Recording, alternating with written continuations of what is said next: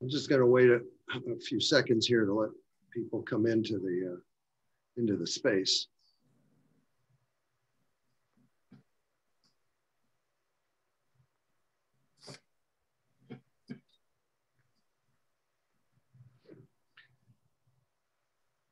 Okay, um, good afternoon and welcome to PNP Live. I'm uh, Brad Graham, co-owner of Politics and Prose, along with my wife, Lissa Muscatine. And we have a, a great event for you uh, this afternoon featuring Karen Tumulty and her illuminating new biography, The Triumph of Nancy Reagan. A couple of brief housekeeping notes first, though.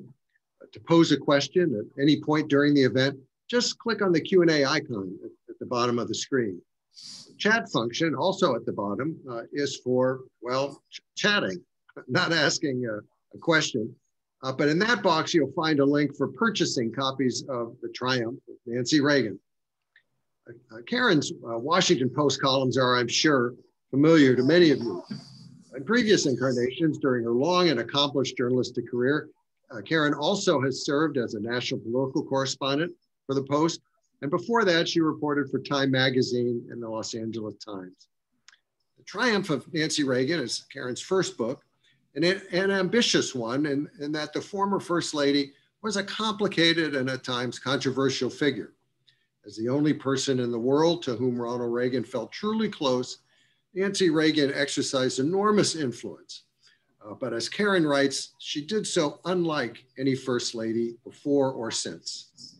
And as fiercely as Nancy tended to her husband's image, she could be, again, as Karen notes, clueless about managing her own. Reviews of Karen's book have been, well, very positive, praising it for its depth and nuance and for its revealing, insightful storytelling. Truly a definitive biography about an exceptional First Lady. Conversation with Karen this afternoon will be Susan Page, the award winning Washington Bureau Chief of USA Today, where she writes about politics and the White House. Susan's first book, The Matriarch, about Barbara Bush, was a bestseller a few years ago. And her new book, Madam Speaker, about the life of Nancy Pelosi, uh, comes out later this week. And, and, um, and, and, sh and she'll be uh, uh talking about it tomorrow in an online event also sponsored by PNP at 6 p.m. So be, be sure to, to tune in then as well. Uh, so Karen and, and Susan, the screen is yours. Brad, thank you so much. Such a such a privilege to do this event with my friend Karen Tumulty, and also a privilege to do uh, an event sponsored by Politics and Prose, a wonderful bookstore. What would Washington do without this bookstore and the events that it sponsors for authors and, and readers? So thank you very much. Karen's book has gotten phenomenal reviews. Everyone has talked, used words like illuminating and engrossing uh, and revelatory in talking about it. Just came out on last Tuesday. She writes about uh, what Bradley Brad described as a first lady who was sometimes controversial. Actually, Nancy Reagan was almost invariably controversial. And what Karen has found in this biography is how consequential she was as well, sometimes in ways that we didn't understand at the time. Karen and I are going to be glad to take some questions from those of you who are watching this. Please just uh, submit them and we'll get to them later in this hour. Karen, first I want to say what a great book. What a wonderful cover. And I wonder if you would talk the photo on the cover. It's not one of those familiar pictures of Nancy Reagan from her time in the White House. It shows a younger Nancy Reagan. Can you tell us what this photo is from and why did you choose it to put it on the cover of your book?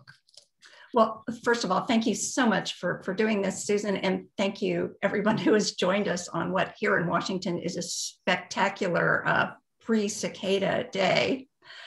Um, but yeah, I the first time I ever saw that photo of Nancy Reagan was when Simon and Schuster, my publisher, showed it to me as the as the cover and I just thought it was so perfect for the book. I mean, she she doesn't look like I, I, thought I'd seen every photo there was of her.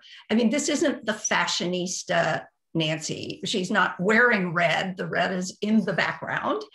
And I think what I hope it does is signal to the reader that this is a serious book of and that looks at, you know, the real sort of consequential impact of this first lady in one of the most consequential presidencies of the 20th century.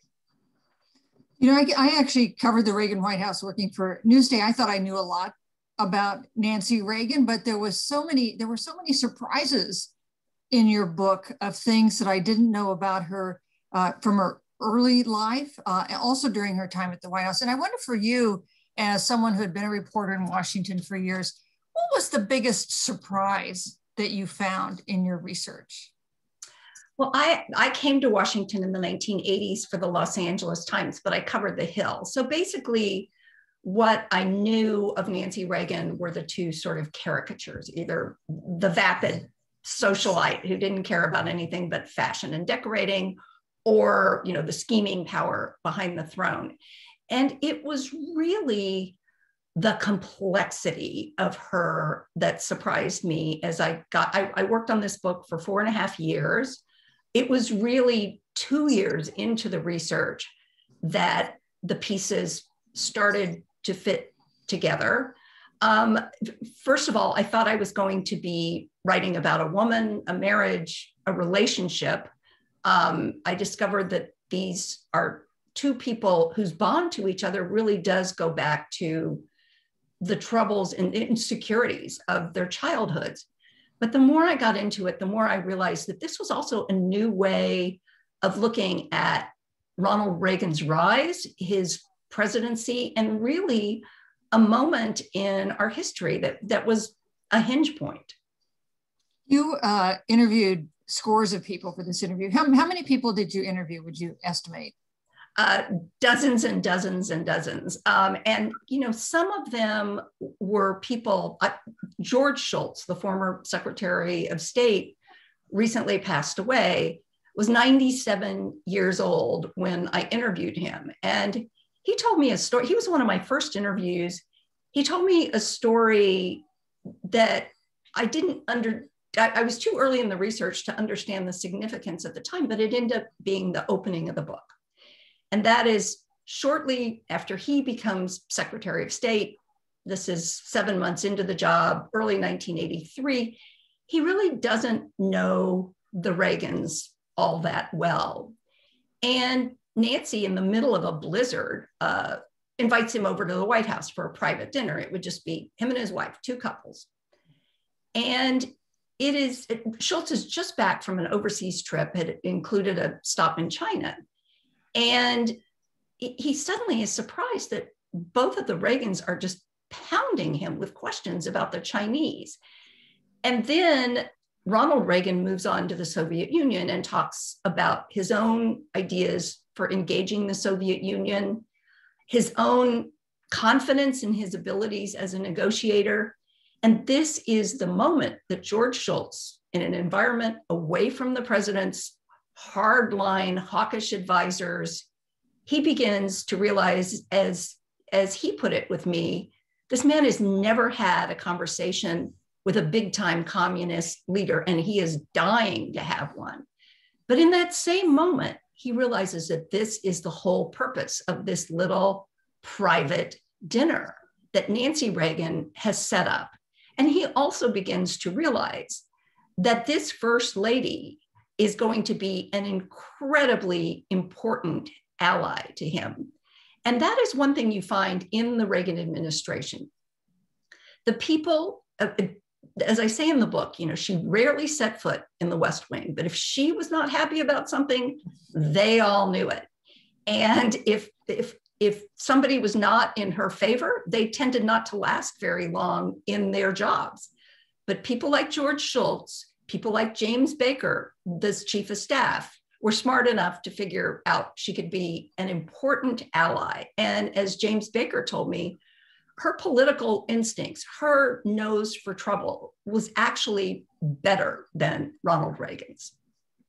You know, one of the biggest, perhaps the one, certainly one of the biggest achievements of the Reagan administration was his willingness to engage the Soviet Union, his willingness to negotiate with Mikhail Gorbachev, to the surprise of any number of people who thought they knew Ronald Reagan well.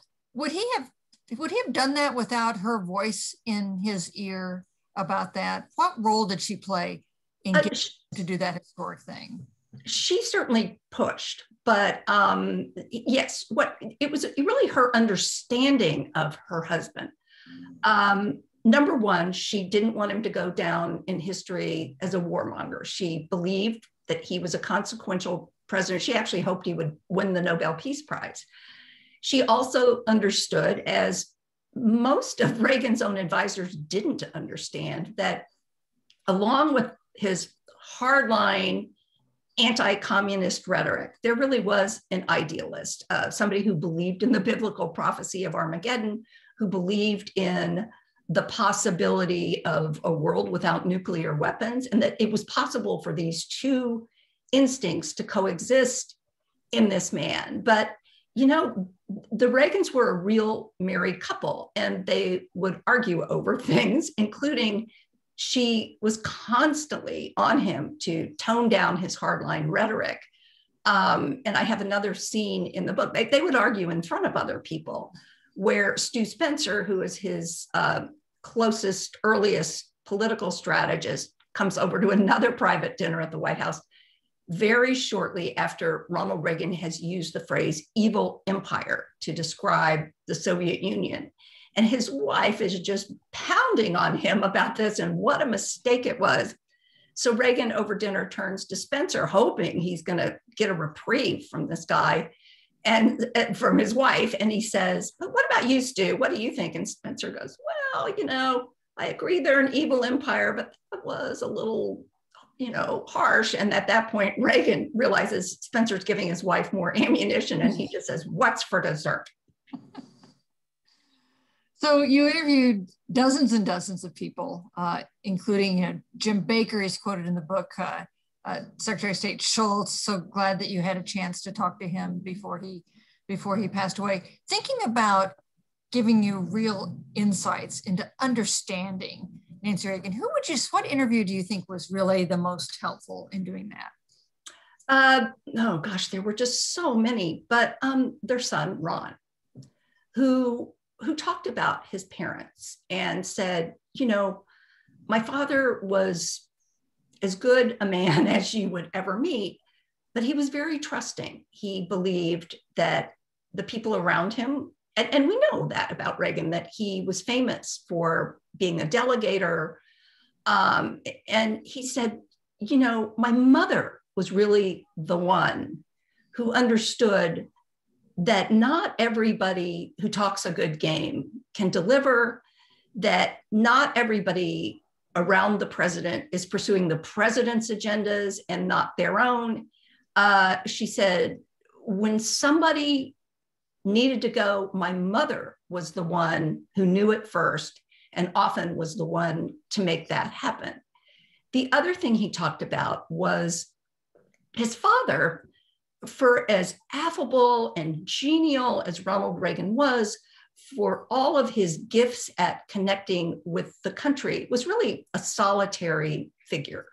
Um, given his druthers, he'd have just been out at the ranch by himself, pounding fence posts.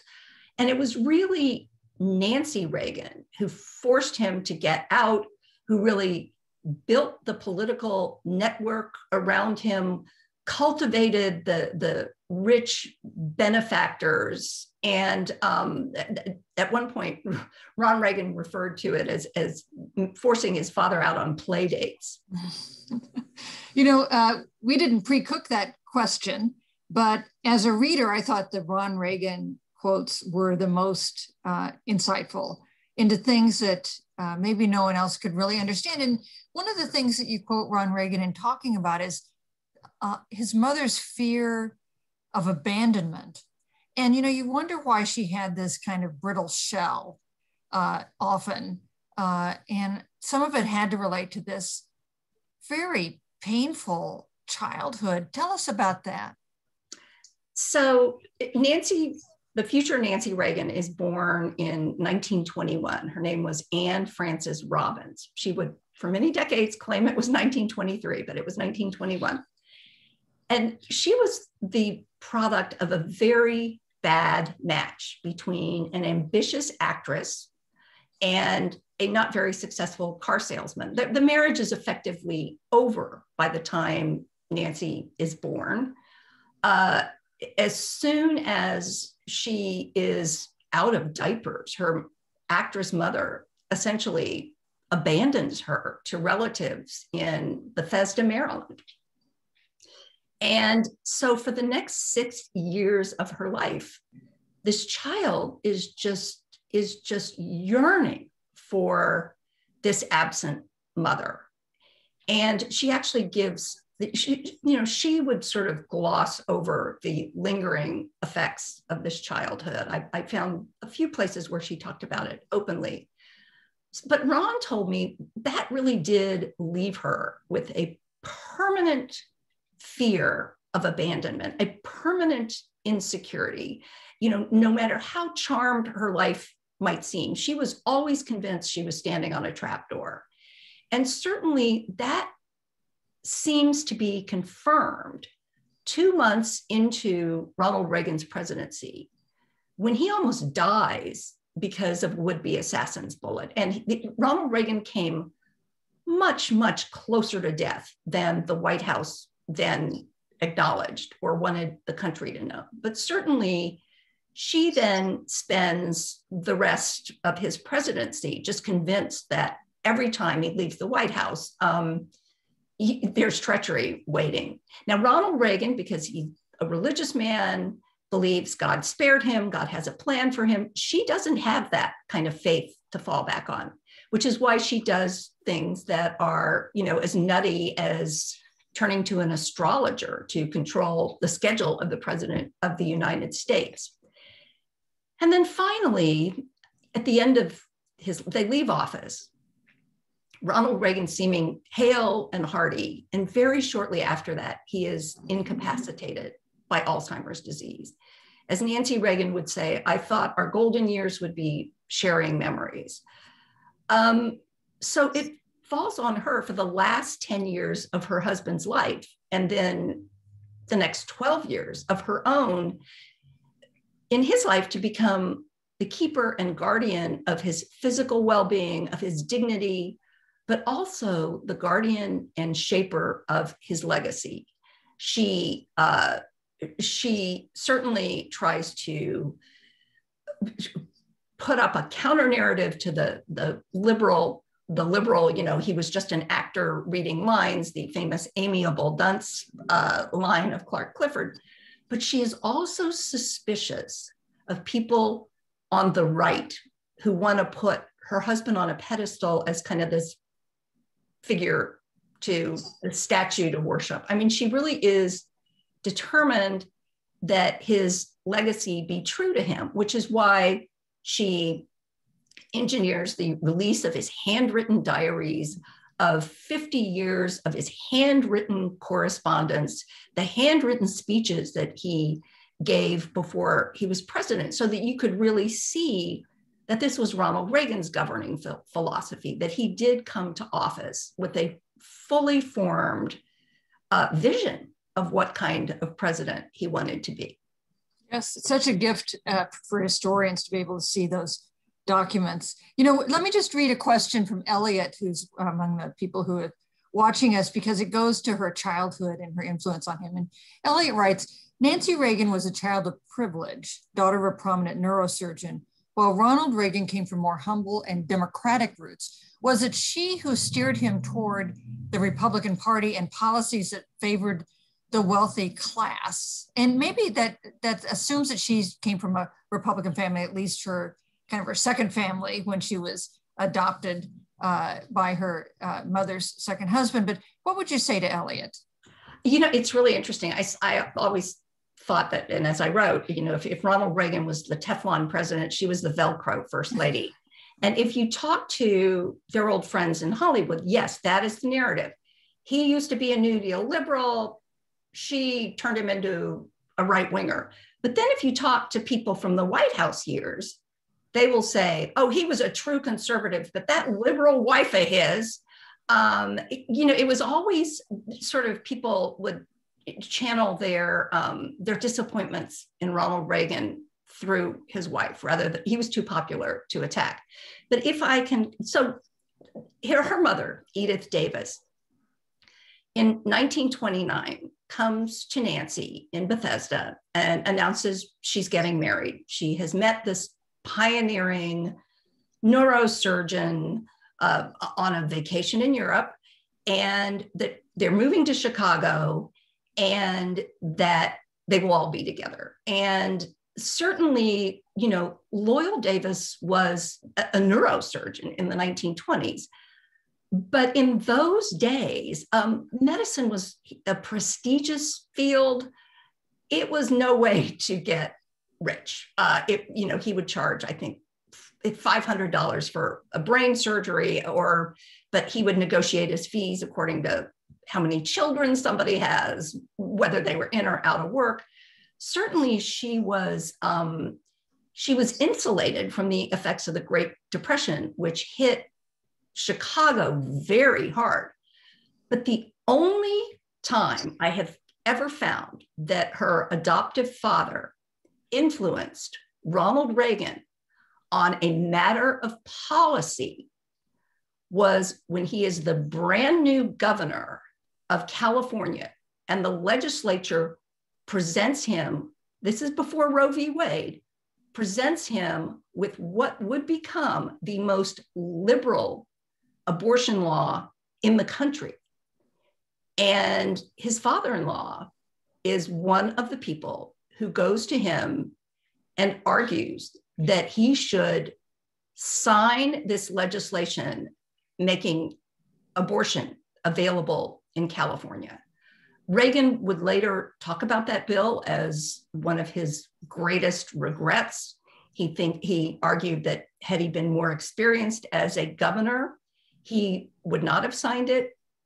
But that is truly the only instance where I have at least found in my research, where Lou Cannon found in his research, where Ronald Reagan turned to his father in law and asked his opinion on something like that. Loyal Davis was conservative, but not really in the electoral politics sense. And, and her mother was a big Democrat. And there are photos of the Davises at the 1944 Democratic Convention sitting in the box with the wife of the mayor of Chicago as FDR is making the fateful decision to ditch his vice president, Henry Wallace, and tap Harry Truman to be vice president.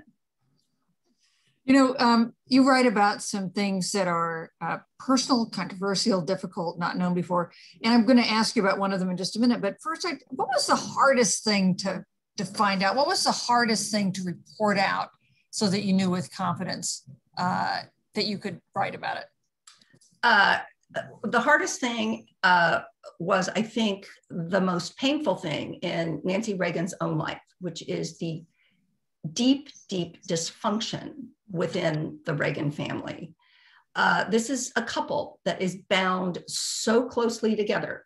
There is really not room in their world for anyone else, including their four children the two that he had from his first marriage to Jane Wyman, the two that they had together.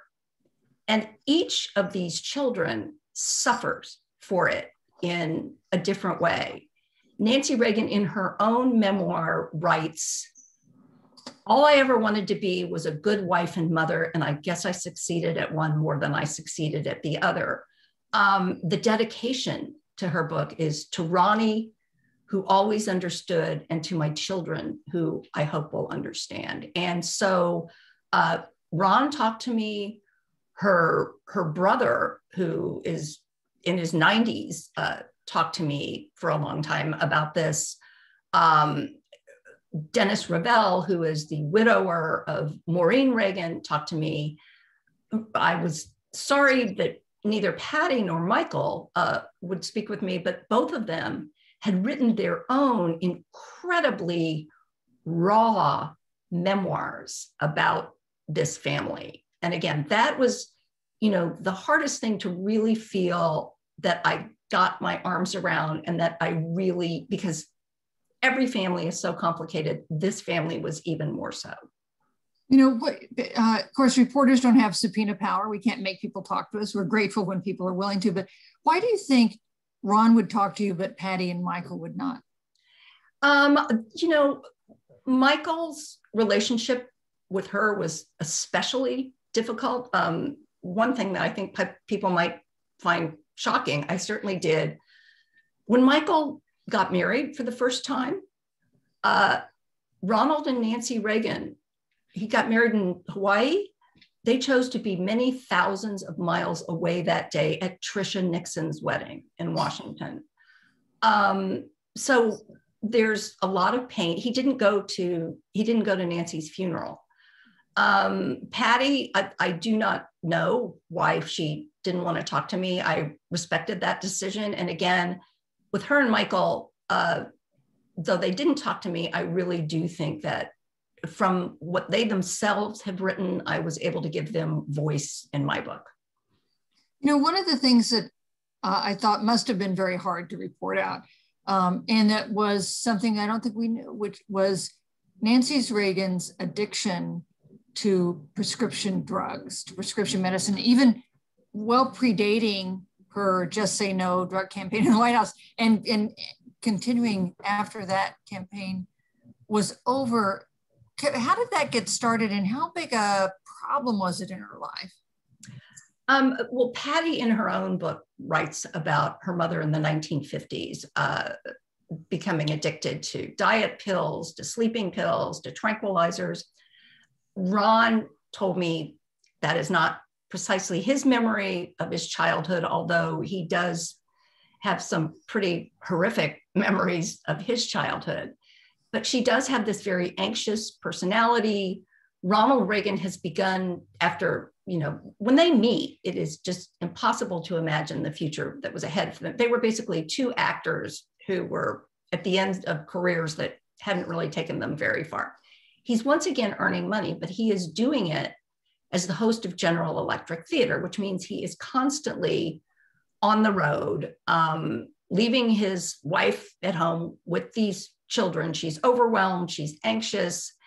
And there's a whole generation of women, homemakers from the 1950s, that if they had problems like these and went to a doctor, the male dominated medical profession didn't want to hear their problems. They would just hand them some tranquilizers and tell them to be on their way. They, they became known as the Miltown generation because of one of the um, medications that was so often prescribed for them.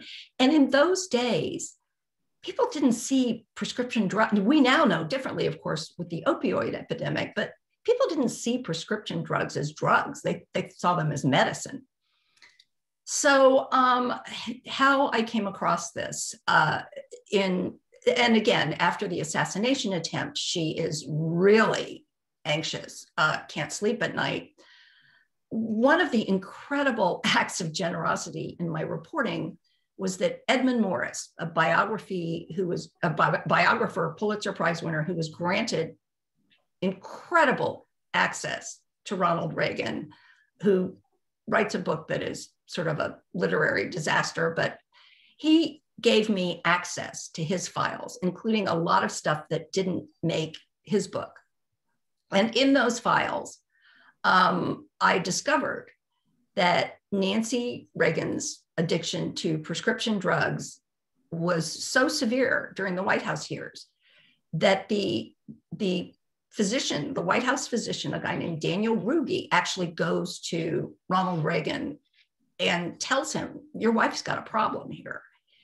And I found out from other reporting, I, I cannot tell you my source, but it is solid, that this is also a concern subsequently to another White House physician, John Hutton, who actually tries to get her off some of the medications. She has this absolutely violent reaction to withdrawal because she's been on them for so long. Um, and so, yes, I mean, it, the, the great irony here is that her cause is is drugs, is promoting this just say no to school children at a time when she herself is dependent. We're going to go to questions in a few minutes. So if you have a question, please do post it. We'd love to hear uh, what you're wondering about, what you're thinking about, if you have a comment or your own perspective. Oftentimes we find on book talks like this, it will amazing people will will write in with their own experiences, tell us what we'd love to hear about that. You know, one of the things that I think the Reagan administration is most criticized for is the inaction and inattention to the burgeoning health public health crisis that was HIV AIDS during the Reagan administration. Did, did, did you get gain insight into why they the administration generally delayed for, for years before taking this on and what role Nancy Reagan may have played in the administration's efforts to, to deal with this important issue? Well, first of all, let me stipulate, and I don't want to soften this, uh, their, their inaction to the AIDS epidemic is one of the deepest and most enduring scars on the legacy of Ronald Reagan and his administration. But in going through the White House files, I, and, and especially some of the speechwriting files, I got a picture of what that conversation was like inside the White House. Now, mind you, Ronald Reagan doesn't even use the word AIDS until his second term. I also extensively interviewed Tony Fauci, who was at NIAID back then. But Nancy Reagan does, in part because of her son Ron, who is dancing with the Joffrey Ballet, who's part of the arts world in New York, and she herself is the daughter of a physician, becomes attuned earlier to it than her husband does. And she and Ron have this sort of private effort to sort of, as Ron started, told me, to sort of getting this into my father's head. But he said my mother was able to think a little bit more abstractly than my father did. Uh, really nothing even begins to jolt Ronald Reagan out of his complacency until the death of Rock Hudson. Uh, he has a, now has a face he can he can put on this.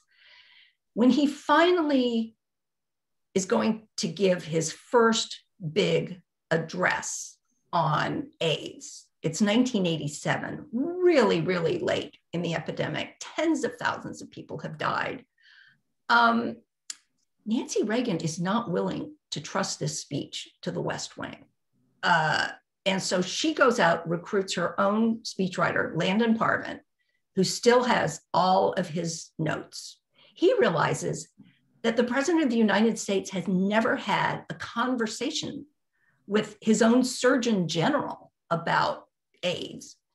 So Nancy helps set that up, but the you know, at that point, among the social conservatives in the administration, um, they believe AIDS is not a health crisis. They think it's a moral crisis. Uh, Pat Buchanan, at one point, the White House communications di- director, had written before he got to the White House that, you know, that gays had declared war on nature and now nature was getting its revenge. So there is this gigantic battle within the White House over what the president would say in this speech. And in some of the drafts that I was able to get my hands on of the speech going back and forth, in Landon Parvin's notes and in other people I talked to, um, that speech could have been way worse. I mean, they were fighting not only the disease itself, but the bigotry and the stigmatization that went along with it. And some of the president's advisors, you know, were trying to, one of the things Everett Koop wanted him to do was tamp down the stigma and you know tell people you can't get aids from swimming pools and mosquitoes or from having someone who's hiv positive prepare your food and there are these gigantic battles within the white house even over something you know as small and as obvious as that. Would Ronald Reagan have become- oh, wait, one more thing, if I can just add. Though. Of course. The other please. thing is, belatedly, Ronald Reagan um, appoints a big commission to look at the AIDS epidemic. And it is on it is Nancy Reagan's demand that there be an openly gay person on this commission of experts. Again, it, it causes a huge outcry from the right. Uh, Gordon Humphrey, senator from New Hampshire, goes, you know, people's bedroom habits shouldn't be a qualification. Uh, but it, it, again, looking back from 2021, it is uh, shocking to see what the conversation around AIDS was like publicly. Um, here's uh, uh, one of our uh, listeners, watchers, who says, asks, what did President Reagan know of other people's opinions of Nancy Reagan and how did it affect him? Did he have a real sense of how she was being really vilified uh, at some points during his presidency? Uh, he he idealized her, go, going back even uh, even in the governor's office, where she would essentially just drive everybody crazy. You know, if, if the ashtrays hadn't been cleaned up, but and when people would go to him and try and, you know, say, you know, complain about something she had done, he would say, "Oh, my Nancy would never do that." So yes, he was aware of the criticism of the criticism that accompanied the fact that she decides to redecorate the White House and buy thousand dollar a plate and uh, with donated money buy thousand dollar a plate china for the White House that she is out there borrowing designer clothes and not returning to them all in the middle of the worst recession since the Great Depression. And yet he would always, always, always come to his wife's defense. Would uh, Ronald Reagan have become president if he had not married Nancy? Uh, that question came up over and over and over again. And I was amazed at how unanimous the opinion was among people like James Baker, Stuart Spencer, and it was no. Um, she, Stuart Spencer said he never would have become governor without her either. And she would do things like James Baker becomes the first White House chief of staff. He doesn't even know the Reagans all that well at that point. He was a close ally, close friend of George Herbert Walker Bush and had actually been chairman of Gerald Ford's campaign in a big 1976 primary where the, you know he and Reagan were, were going at each other's throats so James Baker points out, you know, the Reagans didn't know me well, and it was primarily as an adversary. And yet they sort of, Ed Meese, his chief, who had been his chief of staff, ideological, disorganized, he'd been his chief of staff in California. Everyone assumed that he was going to be White House chief of staff. And James Baker told me that it was really Nancy who was the force behind reaching outside their circle and bringing in this this pragmatist uh, as and you know this this somebody who's very sophisticated about the ways of Washington as chief of staff. And we know from our the recent biography by our friend Susan Glasser and Peter Baker of, of Jim Baker about Jim Baker, no relation to Peter Baker, how crucial that personnel decision was in the success of the, uh, the Reagan presidency, especially in its early days. So here's a question I'm, I love from RJ Agostinelli, who asks, there's been a lot of reporting about the relationship between Nancy Reagan and Barbara Bush. What? oh, geez, Susan, we've had this conversation so many times. Yes.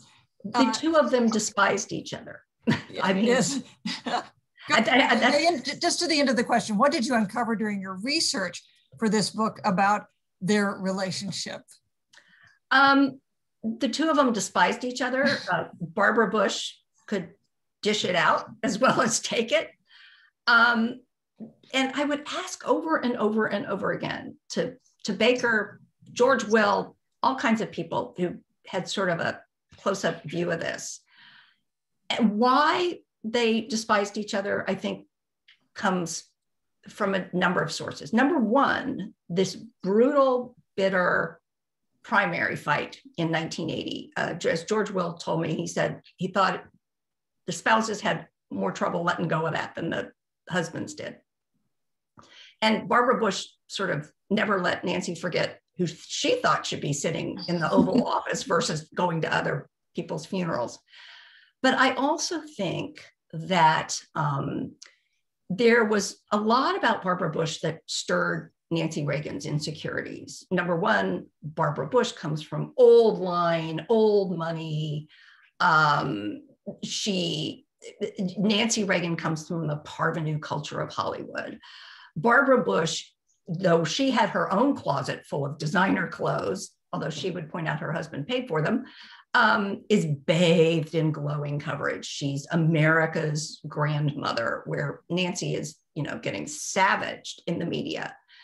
But I also think that um, there was something in the Bush family. You know, the, the Bushes are surrounded by, it, it, it was a functional family. They're surrounded by children, grandchildren who are always around and adore each, each other and adore them. And I think that also goes to a lot of what stirred her insecurities. But as I said, Barbara Bush could dish it out as well. And there is an episode aboard Air Force Two, as Bush is getting ready to run for president himself, where Barbara Bush goes to the back of the plane eh, where the reporters sit and does this brutal imitation of Nancy Reagan for the reporters. And Lou Cannon, White House correspondent for the Washington Post, says to her, you know, Mrs. Bush, the first lady has all kind of spies. This is going to get back to her. To which Barbara Bush turns to him and says, I know. Yes, I think there's definitely a Netflix series on the relationship between uh, Nancy Reagan and Barbara Bush, two pretty formidable women. What kind of reaction have you gotten? Your book is, came out, uh, just published just on Tuesday, but I'm thousands, scores of thousands of them have been sold and, and read, I know. But what kind of reaction have you been getting uh, from your book in these early days? You know, and, and who knows where the critics are going to go from here, but I have been just gratified by the sort of uniform are you allowed to say a claim about your own book? But sort of the the universal positive reviews it's, it's gotten starred reviews in publishers weekly and kirkus and booklist um, a number of places including usa today and oprah uh, newsweek have put it on their lists of the best books to read this spring. Um, and what i really hope people will do and the early reviews suggest that they are doing that, is really look at this book in its entirety. And it is a book about a flawed and very consequential woman who was very much overdue, I think, for a reassessment and who really did play a very significant role both in uh, the rise of Ronald Reagan and the shaping of his, pre- his presidency. And I think in many ways, the heart of the book is the Iran Contra chapter, where she recognizes the danger he is in. And she almost single handedly runs the rescue effort in the White House, which includes a shakeup in the White House staff, starting with White House Chief of Staff Don Regan, who Ronald Reagan does not want to fire, and they had just huge arguments over it.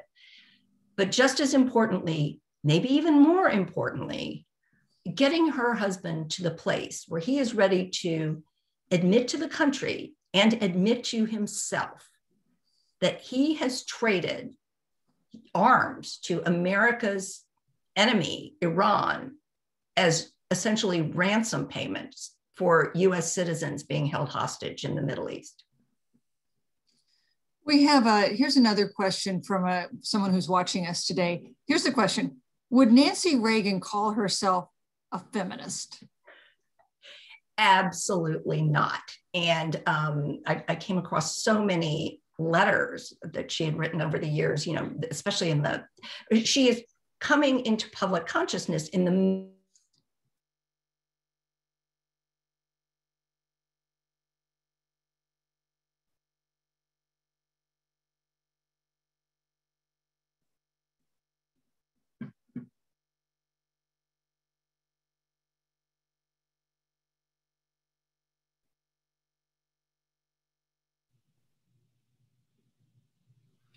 looks like we've lost Karen there. Um, so hopefully uh, she will realize that she has uh, has run into a glitch and will um, you know um, maybe sign off and reconnect. Yeah.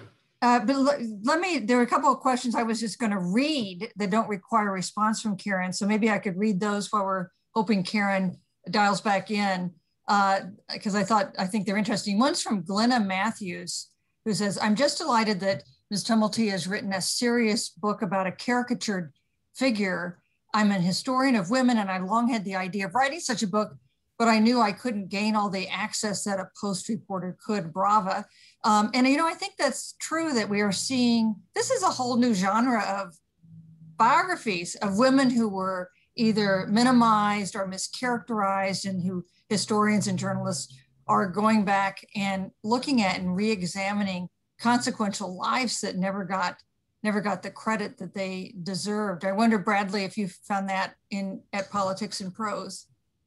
Sure, we're, we're, we're seeing that. Of course, um, not to preempt your talk tomorrow, but now, now you've tackled a very prominent political figure in real time, you know, and that's a, a, a, another trick. Um, but um, and then we we're seeing a spate of, of uh, very uh, interesting uh, autobiographies by prominent politicians, you know, including two in the in the Senate just just this month, and uh, uh, Tammy Duckworth and and Mazie uh, Mazie Hirono. So there's definitely something going on there. Anyway, Karen, welcome back, and I'll let you two continue. Karen, are you there? I'm sorry about this. I, I do have gremlins in my uh, Wi-Fi. um, yes, we so all do. It's been, it's been a lesson for all of us. As I was saying before I was silenced, um, a lot of the most critical reporting about Nancy Reagan really came from younger female writers because I think to them, she really represented like everything that they in the 1970s and 80s had been rebelling against. Here's another question. What would she think of the Republican Party today? Uh, well, it, she was um, even in the 90s was was very suspicious of a lot of the things that Republicans wanted to do in her husband's name. For instance, uh, in the middle of the Gingrich Revolution, there was a move in Congress to kick FDR off the dime and put Ronald Reagan's profile on it. She she objected to that. First of all, she said my husband was a great admirer of, of FDR um, she was very, uh, according to her daughter Patty, when she was invited to speak at the 96 Republican convention, she was reluctant, in part because she had been so kind of horrified at the harsh tone of the 92 convention. Um, she hated the annual gathering called CPAC that her husband would always speak at. And, um, you know, ultimately, when he is incapacitated with Alzheimer's, she speaks out and uh, comes out in the middle of the Bush administration in favor of stem cell research. Again, a position that is very controversial with the right because uh, the most promising research involved the destruction of, of human embryos. Um, so you know, I, I think that number one, she was very suspicious of people who would take her husband's image and use it for their own purposes. And number two, later in life, you begin to see some of the places where her own views uh, actually did diverge with her husband's. So I know in doing your research, you had the difficult duty of watching a lot of old movies. Was Nancy Davis, in fact, a good actress? I thought she was a perfectly fine actress, but she is a tiny. My favorite single bit of trivia in this book is her screen test is engineered by Spencer Tracy, who is a family friend of the Davis family. And also, the Davis family has secretly been helping him through his bouts with alcoholism.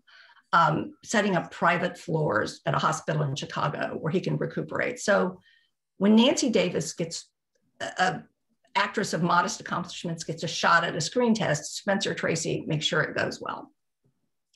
But this is the era, the end of the studio system. This is MGM, the biggest star making factory in history. While Nancy Davis is attractive, I mean, she's on a, the MGM lot with people like Elizabeth Taylor, Ava Gardner. Um, and so the studio tries to sort of counter program her as kind of the, you know, sort of low key, brainy actress in message movies. I thought she was actually quite good. But again, these were not going to be big hits in the era of Annie Get Your Gun. Um, and my little, oh, my little bit of trivia is that because MGM signed her in 1949, that is one of the reasons they take a pass on an up and coming actress who went by the name of Marilyn Monroe, which may be the single worst business decision ever made in the history of MGM. Definitely, definitely. One I'm sure they came to regret. You know, Nancy, Nancy Reagan had a difficult relationship with with reporters. Um, Lou Cannon maybe being an exception, one of the reporters she she liked, but uh, I think with most reporters, she thought they weren't fair to her. But she once did something very kind to me, which was I was covering the White House for Newsday, um, and I was interviewing her, and I told her that I had just gotten married, and that I, in fact, basically started dating my husband when we were assigned seats next to each other in the press section at Reagan's 1984 inauguration and she was very taken with the story and then we then got invited to a state dinner which I think was just like a, a wedding gift, which was quite nice and at odds with her reputation for being uh, difficult uh, and unhappy with reporters. That is exact, sounds like exactly the kind of story she would have loved. Another thing she would do was at state dinners, George Shultz told me, um, Nancy Reagan would always make sure that he was seated next to the most gorgeous actress in attendance. And I, the 97 year old George Shultz still was just delighted as he was telling me, I even got to dance with Ginger Rogers. You know, um, I, I, hope you'll tell us a little bit about how you came to write this book. Nancy Reagan died of congestive heart failure in 2016. I think that's about the time you started working on the book. Tell us about how, how that came about. Well, this book was not my idea. Um, it was the brainchild of my editor at Simon and Schuster, my old friend, the woman who runs nonfiction at Simon and Schuster, Priscilla Painton. And yes, it was a few months after the death of Nancy Reagan. Priscilla and I, over the years, had talked about many, many book ideas. And um, it's the fall of 2016. I, I just thought if this woman just sounds pretty complicated and she could be interesting. And, you know, if, if I'm ever going to write a book, a prospect that quite frankly terrified me, maybe this is the time to take the plunge. And so, you know, I did sort of find my way. It took me four and a half years. Uh, Priscilla, a magnificent editor, uh, guiding me the whole way. So for our last question, this will be the last question, but it's going to be the first question that one of our listeners posted on the site. I've been saving it for this moment. It's from Ryan Lee. And Ryan asks, what would you say is the most impactful lesson that we, your readers, can learn from the life of Nancy Reagan? What do you want us to take away after reading your book? Ryan, thanks for that question. Karen, what would you say? You know, I think our first ladies are again and again we're finding out how important they are in history. And really they they each have to like shape this this, role. It doesn't come with a job description. It doesn't come with a portfolio. They really do the successful ones have to shape it to the needs and of the husband and hopefully someday the wife in office. And when the word powerful is used about a first lady it's usually not intended as a compliment but um, I, I, do think that the, the role that that these women have played so often in our history uh, shouldn't be lost to history. Well, Karen, we're so glad you wrote this book. It's so it's a wonderful book, The Triumph of Nancy Reagan. It's been a pleasure. It was a pleasure to read it and a pleasure to talk to you about it. And I'll turn things back to Bradley Graham now. Yeah, great moderating, Susan. And Karen, congratulations on a, on a consequential book about a very consequential First Lady. I, I, I too am so glad you worked through your initial terror about doing a book and labored four and a half years to, uh, to get it done. Uh, to everyone watching, thanks for tuning in. Uh, reminder again that uh, in the chat column, you can find a link for purchasing The Triumph of Nancy Reagan. From all of us here at Politics and Prose, stay well and well read.